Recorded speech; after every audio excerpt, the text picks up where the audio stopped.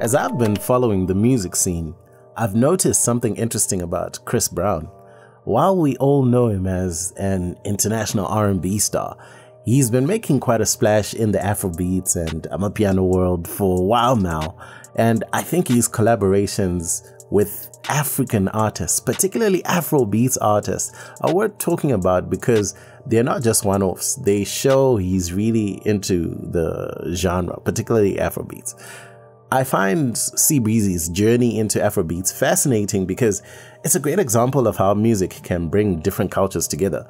Plus, it's part of this bigger trend I've seen where American artists are embracing African music styles, and I think it is changing music globally and wow, it serves as an interesting platform for where African music is going to go.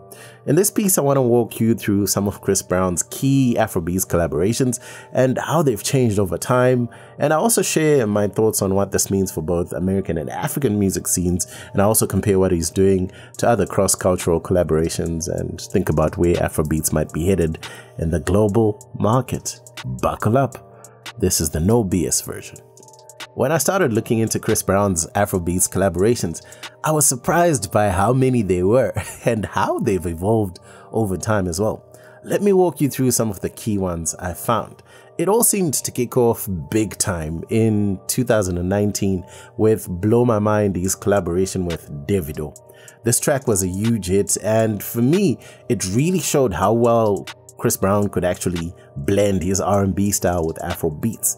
Obviously, this wasn't the first time Chris Brown had worked with an Afro beats artist. We can take it back to 2017 African Bad Gal with Wizkid. A more dancey, party type of tune, but I think what Blow My Mind did was bringing Chris Brown closer to the Afrobeats R&B mix, which has evolved to the sound that he's doing now, on some of the latest collaborations that is. Now, what's interesting is this. Especially after what Wizkid had done with Drake, these were the times when Afrobeats artists were the ones looking for collaborations, so to speak. It was more like, geez, if I could get a collaboration with one of these guys, this is the step up to penetrating the international market. Interestingly, that very same year, Chris Brown and Davido followed Blow My Mind up with Lower Body which was on the extended version of the album Indigo by Chris Brown this time, which just confirmed to me that this wasn't a one time thing for Chris Brown. This also shows how much respect Chris Brown has for Davido because it wasn't just like, ah, this African guy is just paying me and I'm gonna put a verse on his song or whatever. He actually said, yo, I'm gonna return the favor and to put him on his uh, the extended version of Indigo was huge, a huge endorsement for Afrobeats and D- Davido himself. And of course, they teamed up again in 2020 on Shopping Spree of Davido's album A Better Time, which was also with Young Thug. Now in 2022, Chris Brown teamed up with another Nigerian superstar, Wizkid, for Call Me Every Day. What a banger. This track is a great example of how Chris Brown has gotten more comfortable with the Afrobeat sound over time as well. He also added Nobody Has to Know again with Davido, Breezy Deluxe this time. Wow, working formula. It's how it goes.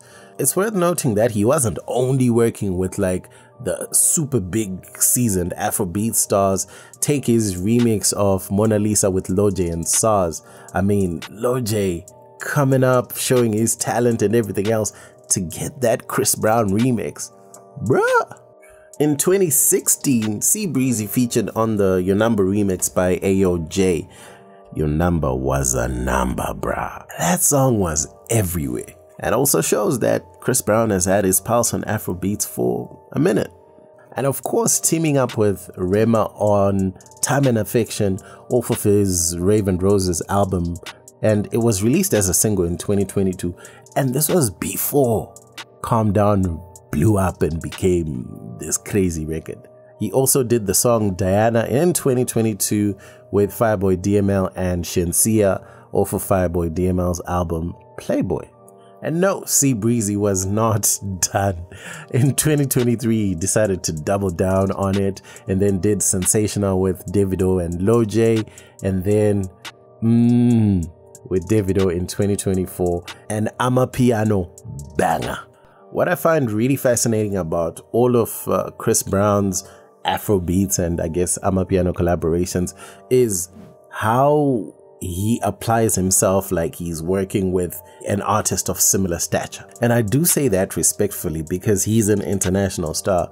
What has happened on the African continent many times is, especially when African artists go and look for these international collabos, it could go either way. You might get a really lukewarm verse, maybe something recycled from old material the artist doesn't care about, or whatever the case may be. But there have been many, many examples of when those artists haven't really sort of given it their all. They haven't respected the African artists. They've just taken the bag and ran with it. With Chris Brown, on the other hand, all his collaborations with African artists sound natural it's not like Chris Brown is forcing himself into a new genre. He studies the sound and he glides on it, you know, and it feels like he's found a style that complements his R&B roots really, really well.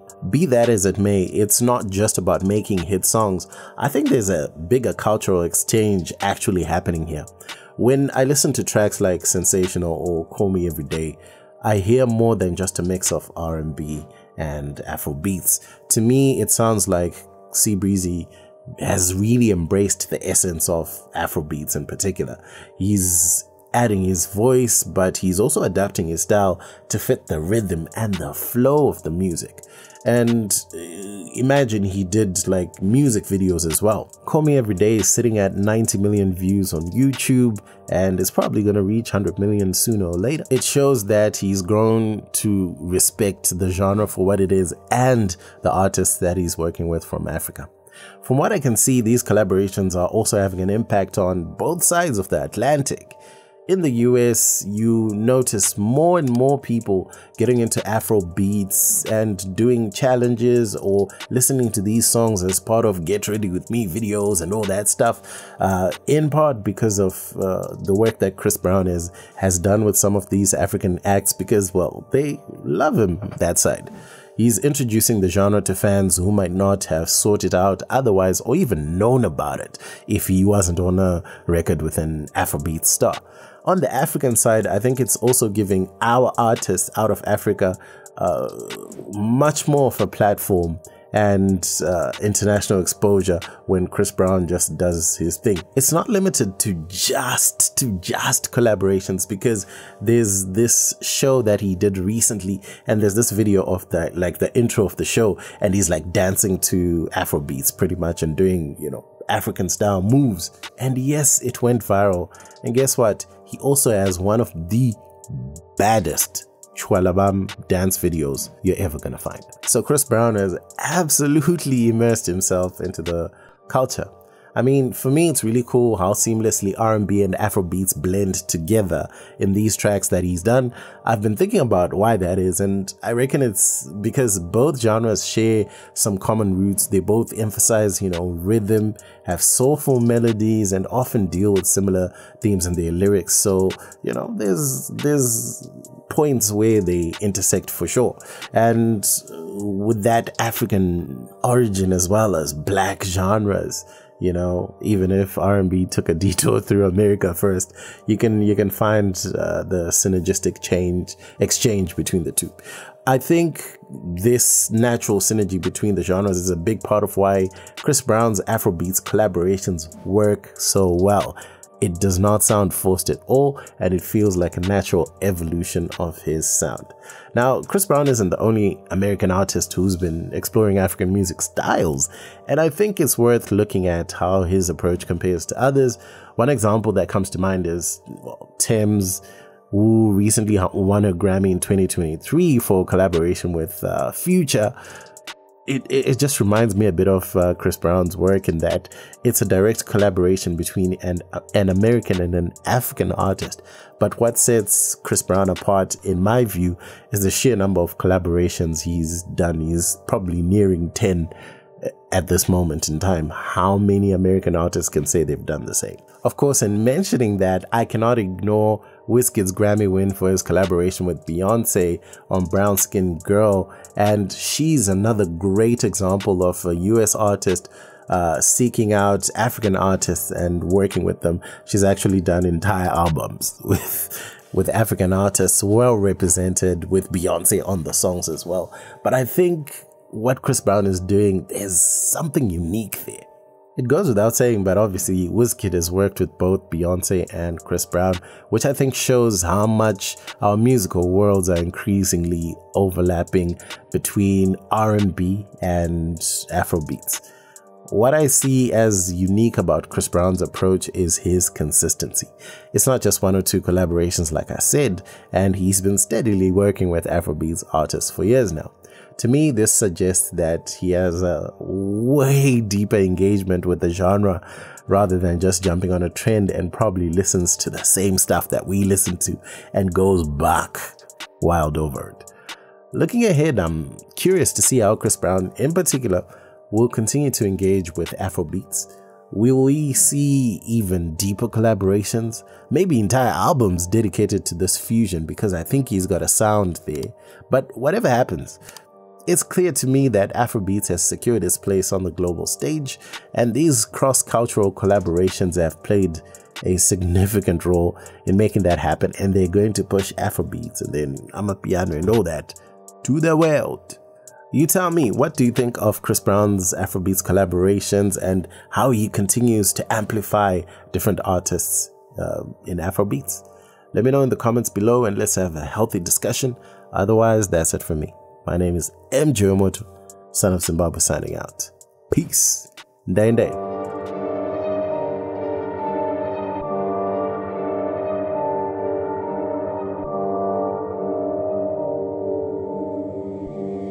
you very dangerous. Uh.